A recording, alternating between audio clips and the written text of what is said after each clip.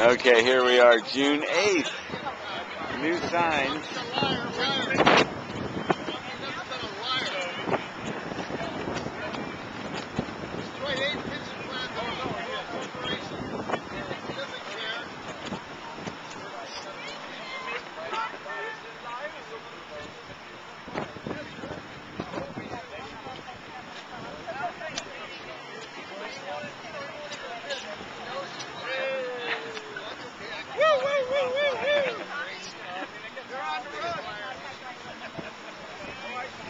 Yeah.